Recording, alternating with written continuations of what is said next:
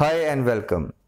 Smart card is a physical access control device which stores and process authentication data and other sensitive data.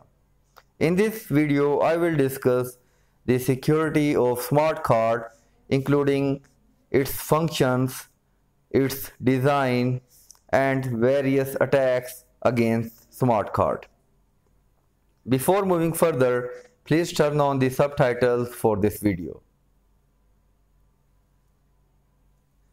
Now smart cards are physical access control devices which are used on personal access control systems or PACs, for example, electronic locks. Now smart cards are also used in credit cards for making online payments on different websites. And smart card is also called IC card or integrated circuit card. Now smart card is a portable identification card and also the authentication card. Now the identification means that you claim someone to be and in authentication you provide a proof of your claim. Now there are three types of authentication factors and type 1 authentication factors is something you know for example your password now smart cards are part of type 2 authentication. It means that something you have. And type uh, 3 authentication is something uh, you are. It means that your biometrics or your fingerprints or other physical attributes.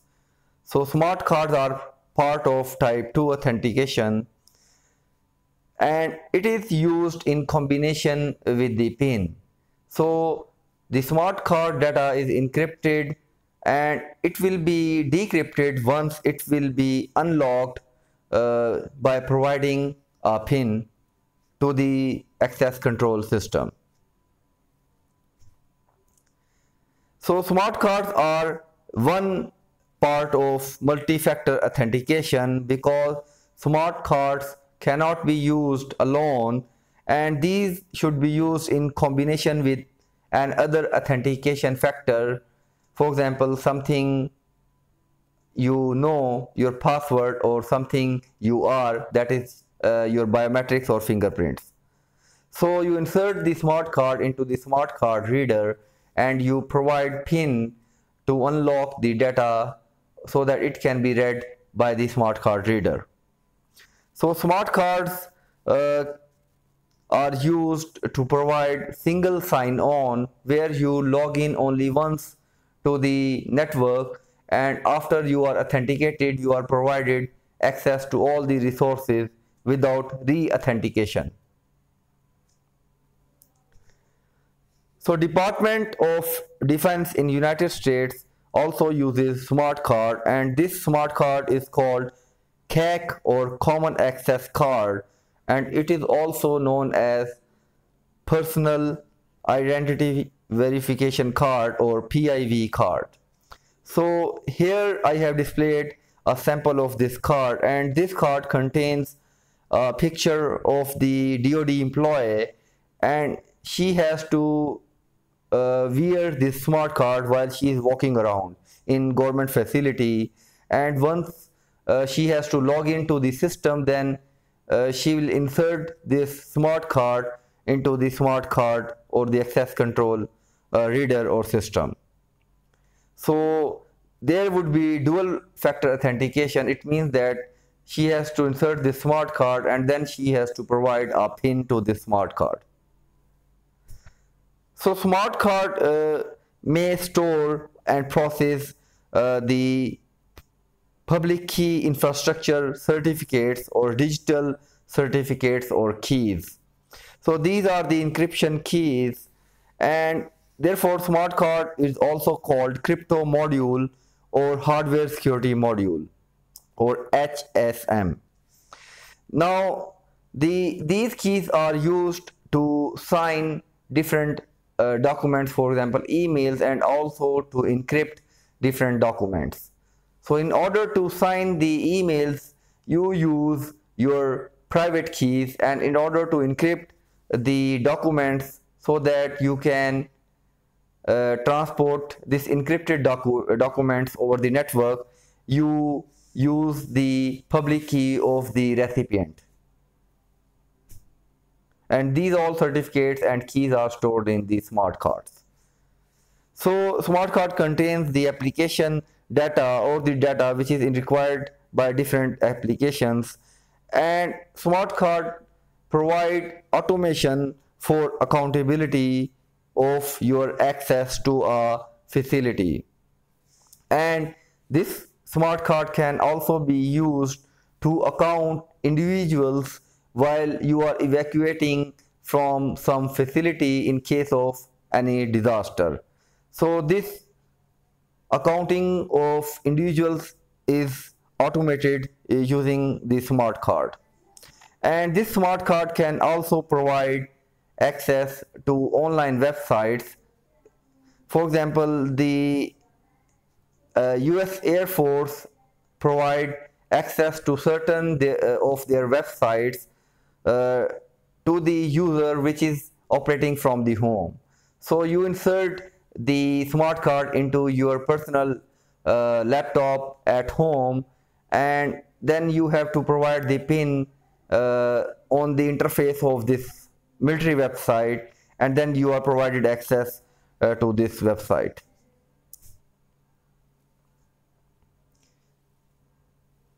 Now smart card contains the integrated uh, circuit chip or ICC uh, which has the memory to store the encryption keys and other application data and the digital certificates and smart card also contain a, microprocessor to process uh, the informations. So there are certain attacks uh, which are uh, found against smart card and these attacks all are side channel attacks. So in these side channel attacks, these are not the direct attacks or the attacks uh, which the designer of the smart card has uh, think of.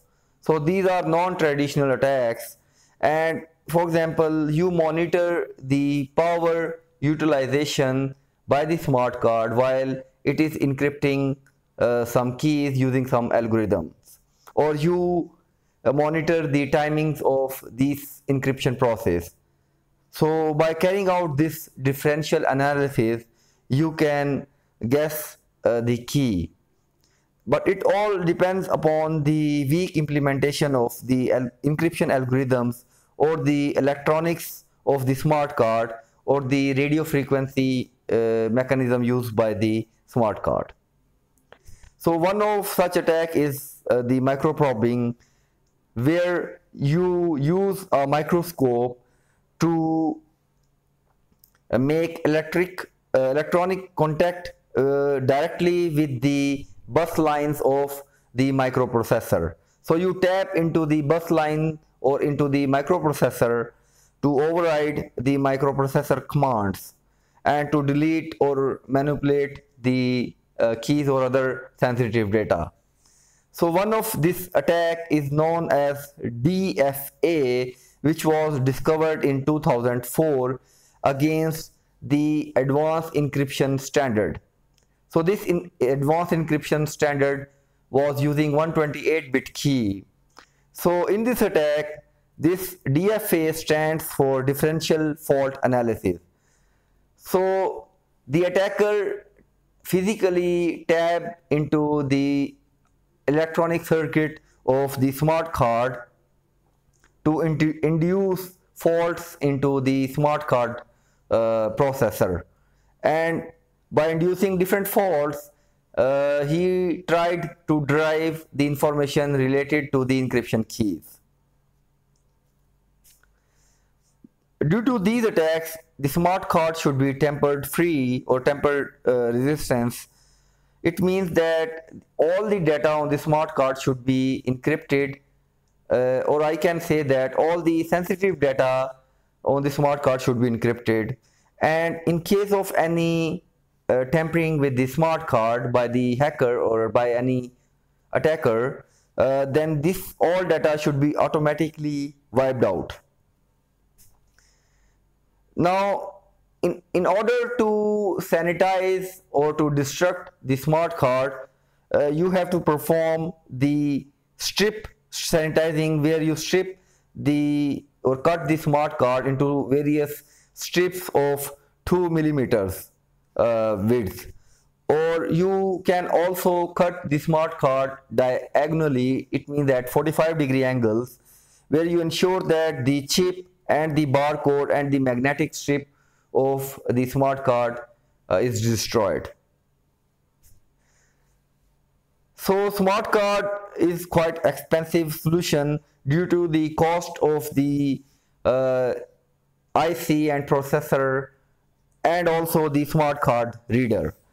So the magnetic card is an alternative to this smart card because this is quite uh, cheap uh, uh, card and it is a passive card that you can only read this magnetic uh, magnetic card and you cannot uh, it cannot process any uh, data because it cannot contain any IC or any processor. So smart cards are of two types that is contact uh, less smart card and contact smart card. So this contact smart card uh, has to physically inserted into the card reader and it do not have its own power. So contact and contactless smart cards both do not have their own power. Or I can say that smart card overall do not uh, has its own power. So power is provided by the card reader. Uh, either uh, electronically uh, by physically inserting into the card reader or wirelessly by uh, inserting uh, by touching to to the wireless card reader. So this contactless card reader is also known as the radio frequency uh, identification card or RFID card reader or RFID cards. So this uh, wireless or contactless uh, card is also called RFID transponder because it responds to the RFID transceiver wirelessly. So you do not have to insert the card, you just have to place the card near the wireless card reader and it also uh, does not have its own power.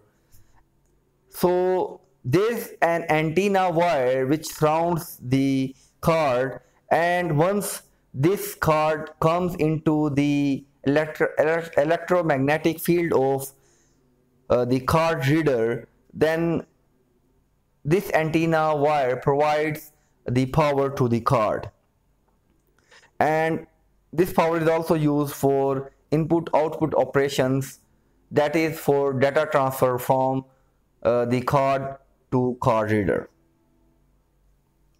So both contact and contactless card reader can be hybrid or can be combi. Now once these cards are hybrid these cards uh, use two uh, memory chips. And once these cards are combi then uh, these cards use one chip.